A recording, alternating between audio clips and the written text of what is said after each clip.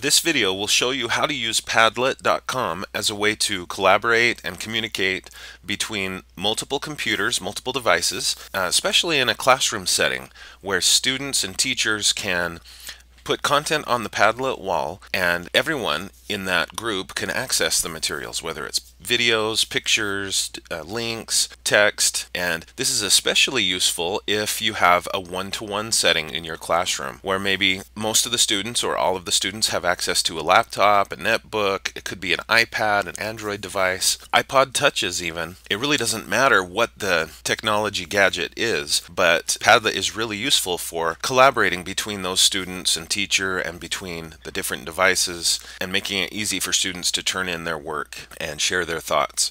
So let's take a look. Once you've signed up for a free Padlet account, all you have to do is click Build a Wall, and it brings up a wall for you to customize. It tells you how to get started posting on your wall, but first I want to modify the wall. I'll click Modify Wall, and I can title it and describe it. Let's say that this wall is going to be for my 8th grade language arts students. I can just type that in, type in a description of the wall and maybe what its purposes are going to be. Next, I can click wallpaper and change the background, change the wallpaper of my wall. And you can see that there are various different patterns, designs, for the background that you can choose. Notice that you can also add your own background if you want to upload an image or link to an image you could put in your own custom wallpaper. So I like that option a lot. Next up, let's look at layout. Layout options, you just have two. There's the freeform option where you can just put anything in just about any pattern you want. You have full control over where it goes, and so do the students or whoever you're collaborating with on this wall. The other option is to have things appear in a stream where posts are placed one below the other, kind of like in a threaded chat room or that kind of thing. I like freeform. I'm going to stick with that. Next up, there are privacy options. Notice that you can keep your wall completely private or you can password protect it to make it especially protected and, and private. You can leave it just as a hidden link where it's a public wall, yes, but you have to be able to find it and with hidden link, it's not going to show up in Google results or in public areas of Padlet. A fourth option is to make your Padlet wall totally public, where you don't mind at all if the public finds it. You're basically encouraging that. Other options that you have include adding people by email, and you can give them more control if you do this. In fact, you could basically add them as co-collaborators and, and managers of this wall along with you. This next option is pretty important for teachers. You can leave this checked, which would make it so that you can moderate the posts that happen on your Padlet wall.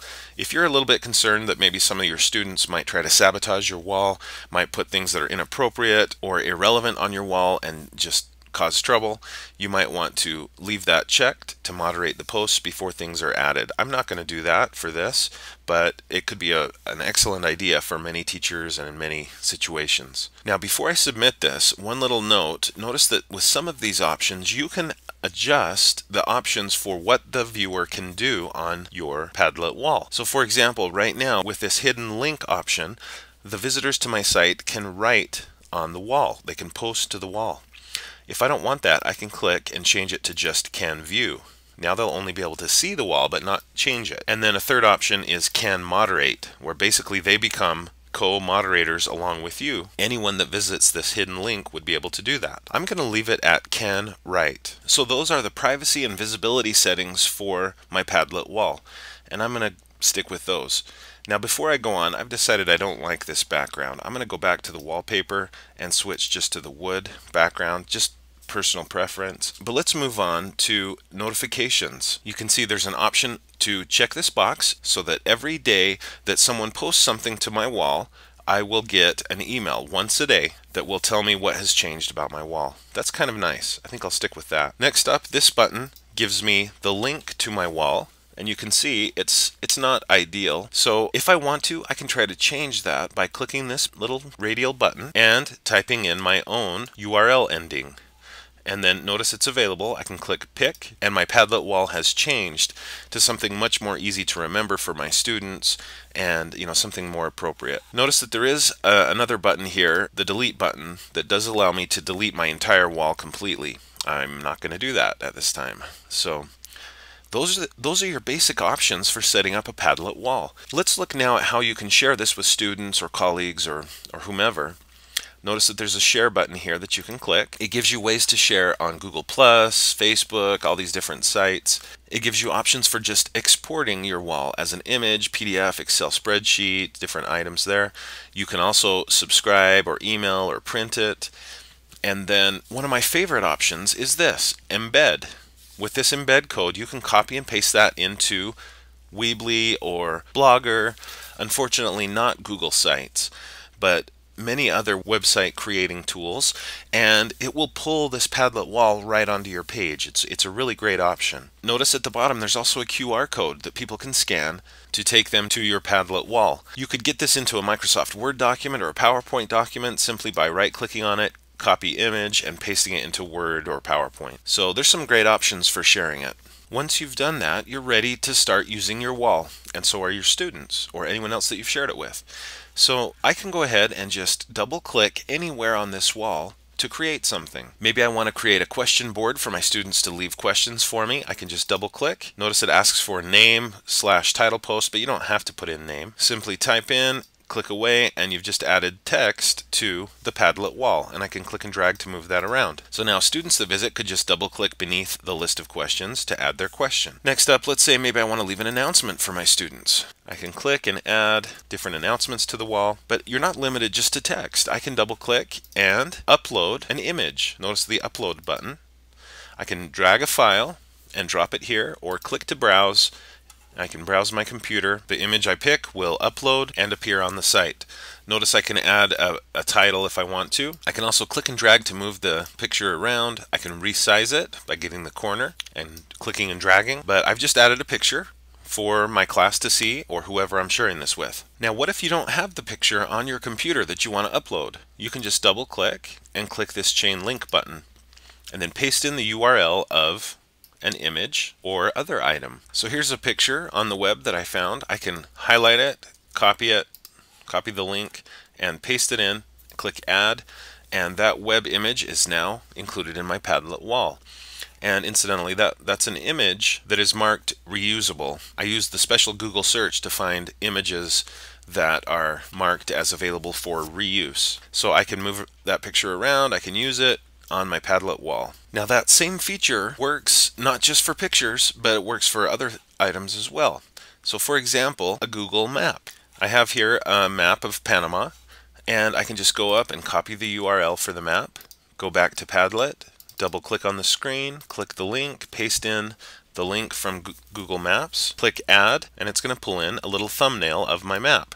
I can move it around, I can make it bigger, and for the students, when they see this, they can click on the map and it will try to load it bigger for them. Sometimes it doesn't work, to be honest with you, but if you click this source tab, it will take them directly to the source and they'll be able to see the map large. So Padlet's pretty versatile about what you can add, especially if it's live on the web. You can just click that link button to link to it. Notice that it works. It says it works with images, maps, videos, slideshows, documents, or anything else it claims. You can also capture images from your webcam. By clicking this, you can take a photo of yourself or anything that you put in front of the webcam. Now, I'll show adding videos a little bit later, but just know that clicking on this upload a file button I could pick a video that's on my computer and upload it in.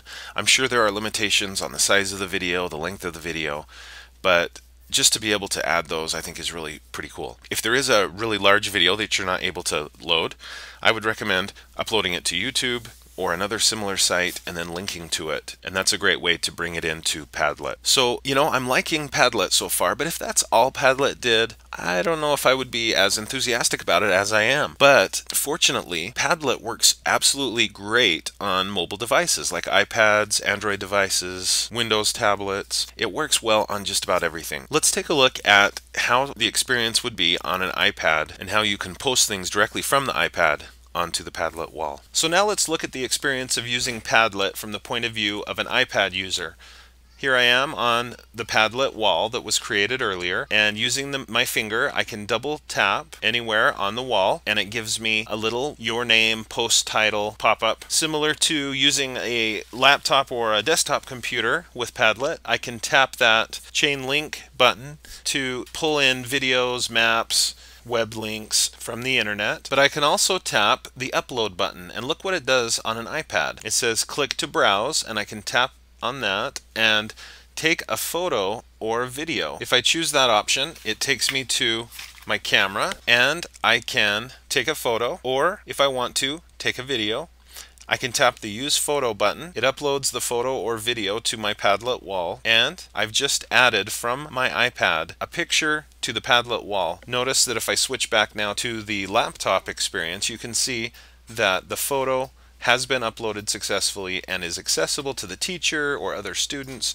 that also have access to the Padlet wall. Going back to the iPad now, let's take a look at the other option if I double touch the background, upload, and then click to browse, in addition to taking a new photo or a new video, I can also choose existing. And this will access my camera roll or videos on my device, which I can then select and tap use. It does compress the videos, and I'm sure that there is a limit to the size of the video that you can upload. Once it's done uploading, your video is now available online.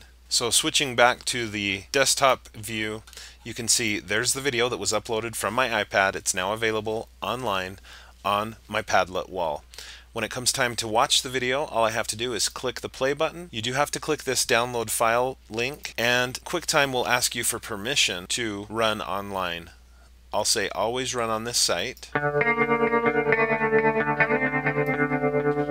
video plays. When I'm done watching the video, I can click the X to go back. So Padlet becomes a wonderful way for students, teachers, colleagues to send files, send projects, turn them into the teacher, make them available for each other to view. And remember that as the teacher, you can moderate what's posted. You can make sure that it's appropriate and accurate and correct. So I hope you'll check out Padlet.com. I'm excited about it. I think it's a great tool.